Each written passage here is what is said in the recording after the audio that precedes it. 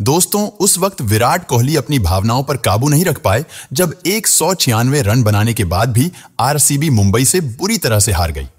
जी हाँ, दोस्तों, मुंबई और आरसीबी के बीच खेले गए बेहद ही रोमांचक मुकाबले में मुंबई से आरसीबी को एक और शर्मनाक हार झेलनी पड़ी। आपको बता दें कि पहले बल्लेबाजी करते हुए, जब आरसीबी ने मुंबई को एक सौ सत्तानवे रनों का टारगेट दिया तो यह किसी ने नहीं सोचा था कि इतनी आसानी से मुंबई इस मुकाबले को जीत जाएगी, क्योंकि एक सौ सत्तानवे रन कोई कम स्कोर नहीं होता। लेकिन आज तो मुंबई के बल्लेबाज आरसीबी को बर्बाद करने की कसम खाकर आए थे। आते ही तूफानी अंदाज में बल्लेबाजी कर चार ओवर शेष रहते ही सात विकेट से मुकाबला जीतकर आरसीबी को एक और शर्मनाक हार दे दी। जिसके बाद कोहली को काफ़ी ज़्यादा निराश देखा गया। कोहली के चेहरे से साफ़ पता चल रहा था कि वह अपनी टीम के इस प्रदर्शन से कितने निराश हैं। दोस्तों, इस शर्मनाक हार के बाद विराट स्टैंड में बैठकर रोते हुए भी दिखाई दिए।